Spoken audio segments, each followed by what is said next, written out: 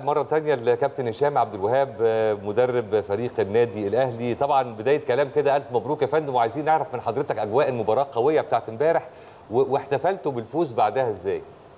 كريم ونهوان صباح الخير عليكم صباح الخير على جميع الجماهير الأهلاوية في كل حتة في العالم. صباح الفل عليكم الأول. صباح الفل. الحمد لله.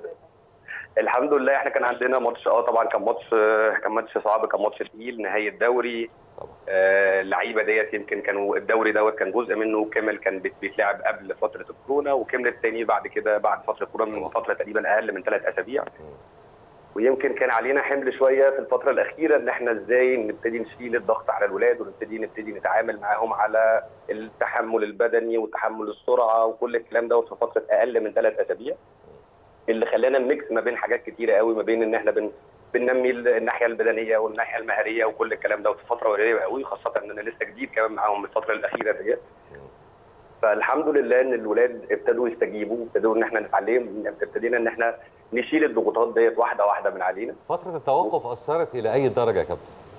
آه للأسف إن هي أثرت طبعا سلبا لأن الولاد كانوا وصلوا لليفل عالي جدا في الأحمال البدنيه والسرعات والكلام والجزء المهاري بتاعهم.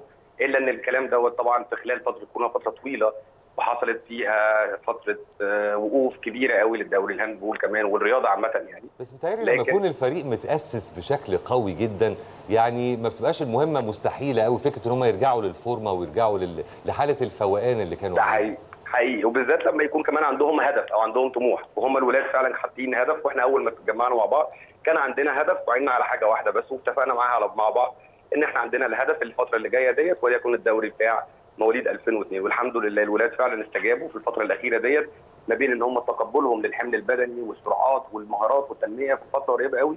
والفرقة الأجهز أنا كنت متأكد وحتى الكلام ده اللي إحنا كنا بنتكلم فيه مع بعض إن الفرقة الأجهز في الفترة اللي جاية الفترة اللي جاية دي هي اللي هتقدر تنافس بشكل قوي. وكان الجزء الأكبر شوية هو العامل النفسي للولاد دولت لأن هم عندهم دايما الحتة بتاعت إحنا ماتش أهلي وزمالك وان إحنا ماتش تقيل طبعا. طبعا الحتة ديت إزاي إن إحنا اوصل لهم إن إحنا في الأول والآخر ده ماتش جيم المفروض تنزلوا تلعبوا إزاي وأنتم مستريحين إزاي تعرف تلعب قدام الخصم اللي بتاعك وإزاي تبتدي تحط عليه ضغوطات وفعلا هو ده اللي حصل في ال game إحنا ابتدينا بدايه بداية من الشوط الثاني ابتدينا نحط عليهم ضغوطات إن إحنا نعلي في ال score فبقت في جوانب عندهم ابتدت نقط الضعف تبان وابتدى التسرع ابتدى يبقى أكتر شوية وابتدينا إحنا نستغل الكورة دي إن إحنا نزود ال score بتاعنا أكتر وأكتر. فالحمد لله ربنا كان الولاد يعني مجهود الولاد دولت فعلا إن هم يستحقوا كل حاجة كل خير يعني. ألف مبروك بالنجاح والحمد لله ألف مبروك ويا رب دايما كده. وإن شاء الله تيجوا تنورونا حضرتك وأعضاء الفريق كله ونعمل فطار مجمع هنا عندنا في البرنامج. ونبارك لكم بنفسنا. ألف مبروك. شكرا. مبروك علينا كلنا ومبروك على النادي الأهلي. وأشكركم جميعا. وشكرا لفرقة الرجالة بتاعت 2002 وولي أمورهم ومجلس الاداره النادي الأهلي. أشكركم جميعا. شكرا ليك كابتن هشام. كلام جميل كده. النهارده يوم حلو والله. يعني في فوز كده على كل الاصعده يا رب دايما, دايما, دايما. كده نفرح ونادينا دايما يكون مفرحنا. نروح